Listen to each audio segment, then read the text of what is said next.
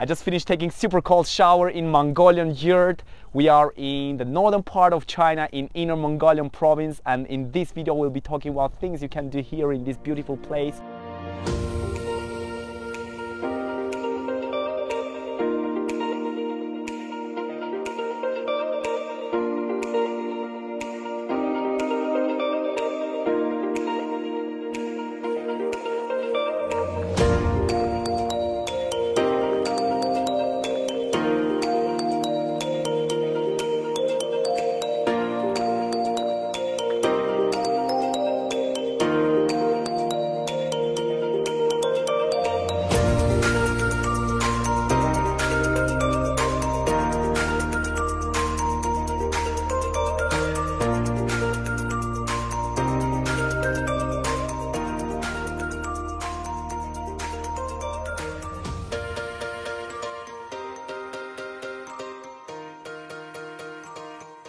We decided to go to Inner Mongolia from Shanghai by train. We went to Chifeng city and there we rented a car and we took a drive to Hulunbuir.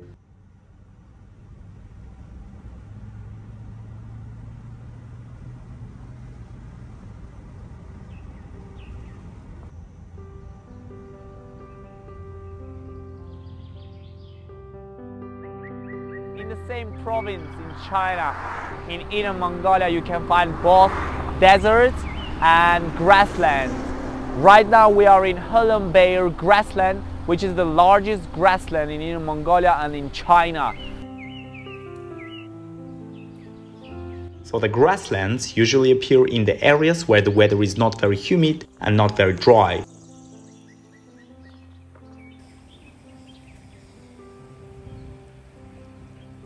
Hulunbuir grassland stretches over of 93,000 kilometers square.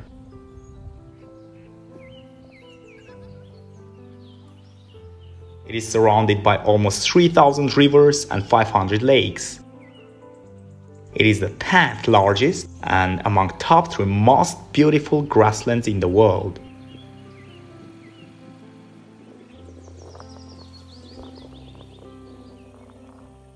This place is also known as the Grass Kingdom because of the spectacular view. If you love riding horses, Inner Mongolia is the best place where you can spend your time just because there are more than more than 8 million horses living in this province.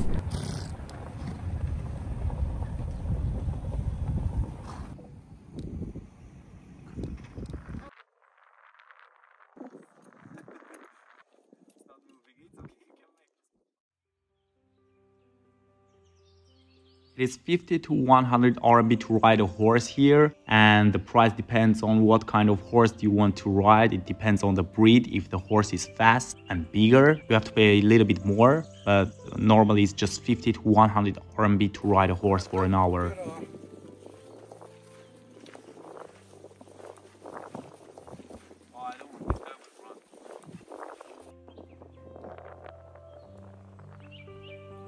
If you are a horse lover, this is the perfect place for you to come.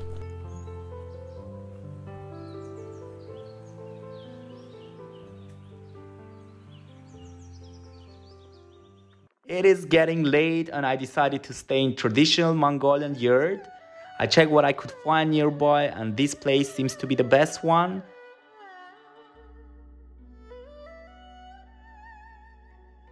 The receptionist told me that the yurts have bathrooms, although there is no hot water, I think it's not a big deal for me, so I decided to stay here for a night.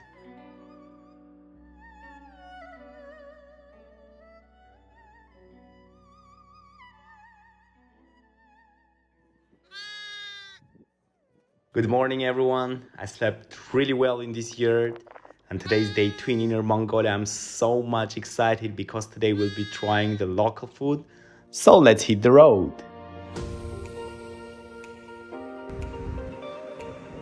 One of my friends recommended me to visit this place. He told me that in this restaurant I can find most of the local delicious food.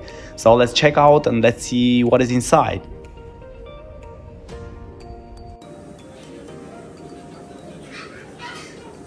It's a camel pie made with camel meat and this is my very first time I'm trying camel meat actually. Let's see how it tastes.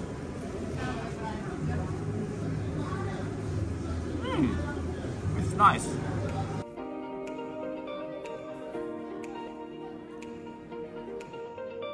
The next thing that we ordered is Mongolian milk tea, one of the most popular local dishes.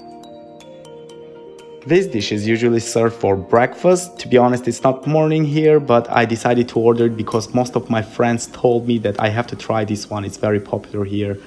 It comes with crispy fried rice, dry milk, milk tofu, butter, and dried beef. This one is a milk cream, absolutely fresh. You can see the crispy rice on the top with milk tofu. I love this one the best and I'm sure if you like dairy, this can become your favorite dish.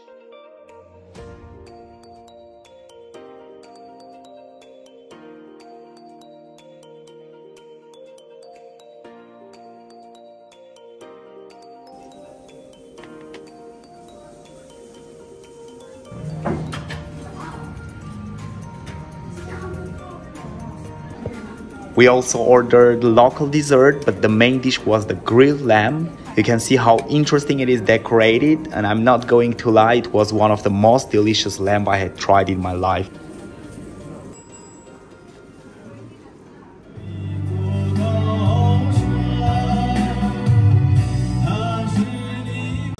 It's time to leave this place. I'm pretty much satisfied with everything here.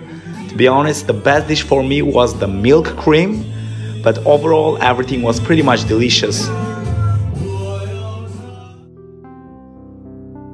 Our last destination was the Gobi Desert.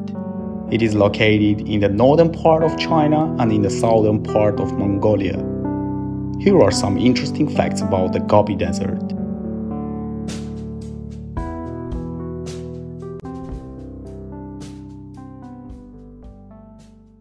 We're riding camel this time in Inner Mongolia.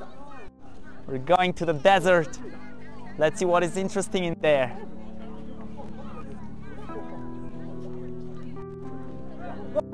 The first fact that Gobi has one of the world's most extreme weather conditions with rapid temperature changes. You may think that the deserts do not have snowfall, but this desert does, and dunes of this desert are covered with snow in winter. Gobi Desert is the largest desert in Asia and the fifth largest in the world. It is the most important archaeological place where first discovered that dinosaurs laid eggs.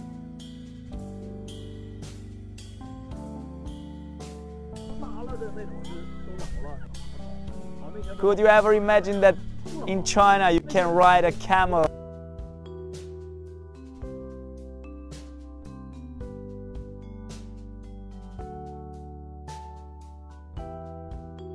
If you like riding camels, driving cars through the deserts, this place can be a good choice for you.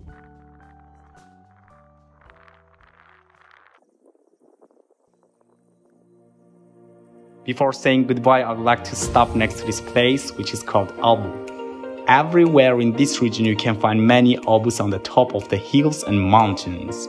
When traveling, it is custom for Mongolians to stop and circle an oboo three times in order to have a safe journey. I will do the same and wish good luck to all of you.